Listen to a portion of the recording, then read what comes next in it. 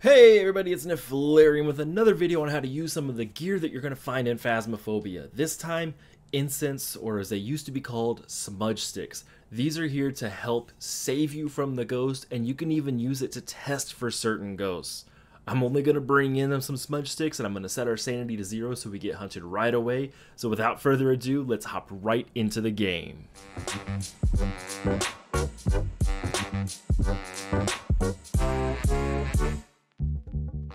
Alright, so when you're in the truck, it's on the far left side. You do have your incense here. This is the tier 1. Tier 2 slows the ghost down a little bit, and tier 3 stops them in their tracks. But tier 1 will keep you safe. You can carry up to 3 of them, but you can't just bring it by itself. You also need to bring an igniter. Tier 1 are matches. Tier 2 is a big lighter, and tier 3 is a Zippo.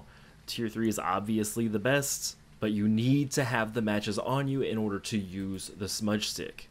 So let's hop into here, get hunted, and I'll show you how it works.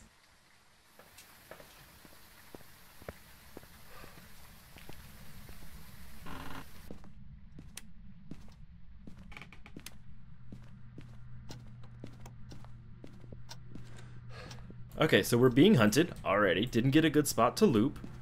Ghost looks like the ghost coming out of the basement. And here he is, you know, he's gonna kill me if he gets too close, but I'll go ahead and right click, use my smudge stick, and you see he runs away. Getting tagged by a smudge stick will blind the ghost for 5 full seconds. You do have to hit your smudge stick before they get to you, you can't do it right as they're about to hit you and it's gonna block it. Uh, this long hunt actually was able to be stopped by two smudge sticks. Usually one is plenty. Use that smudge stick to run away and get into a hiding spot. That's really all there is to smudge sticks, but let's get into the truck and talk about some of the bonus things you might want to know about smudge sticks. Alright, so that was a really short check on how to use a smudge stick in a hunt. You want to turn the smudge stick on before the ghost gets to you. If you wait too long, the ghost can still kill you. I have definitely died with a burning smudge stick in my hand. It's going to tick every now and then, and it starts that five second blindness timer where you are in, invulnerable to the ghost. So you cannot get killed. That's your chance to run away. There's a couple other great things that the smudge stick does, though. Once you get uh, the smudge going and you smudge a ghost, whether that ghost is hunting or if they're not hunting and you just smudge where they are, it's going to start a timer where the ghost cannot hunt. That for the normal ghost, that's 90 seconds. So you have a minute and a half of just you're totally safe. The ghost won't hunt unless it's with a cursed possession. There are two exceptions though.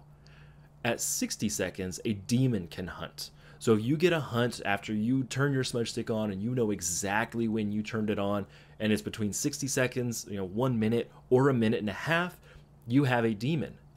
If it hunts between a minute and a half and 3 minutes, 180 seconds, then you do not have a spirit because a spirit can't hunt for 3 minutes instead of the normal minute and a half or the demon minute.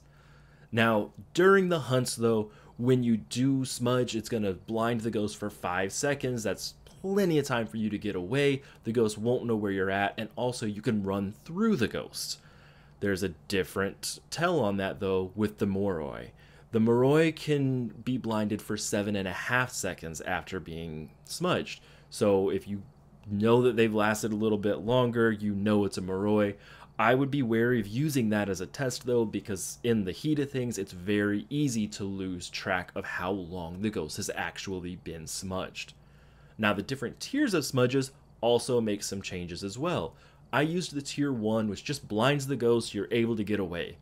The tier 2 will blind the ghost and slow them down, so not only can you get away, you can put a little bit more distance between yourself and the ghost. And the tier 3 blinds them and stops them in their tracks that sounds like a really, really, really great option. You're going to be able to stop them. You get as much distance away from them as possible. However, if you're trying to pay attention to the speed of the ghost, the tier 3 incense will stop them, which is why you see a lot of the streamers using tier 2 instead of tier 3. But that's all there really is to incense. It's a really easy item to use. There's not a whole lot to it, and it will save your life. It will save the hunt, and you can sometimes figure out the ghost based on how they react to it. Do you have any other questions about the incense? Are there any other items you wanted to learn about? If you like this video, like it. If you dislike it, dislike it. If you want more, hit the subscribe button and join my Discord linked on my profile. And as always, I will see you in the next video.